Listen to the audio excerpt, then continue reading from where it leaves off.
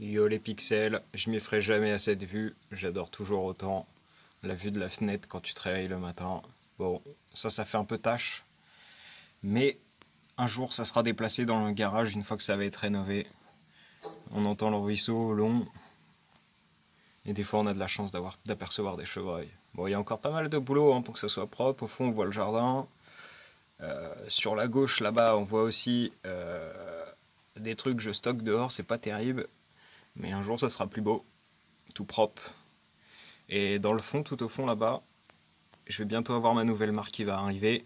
J'attends j'attends qu'on me recontacte, mais euh, vu que je dois refaire mon assainissement, euh, je vais changer, je vais creuser une mare en même temps.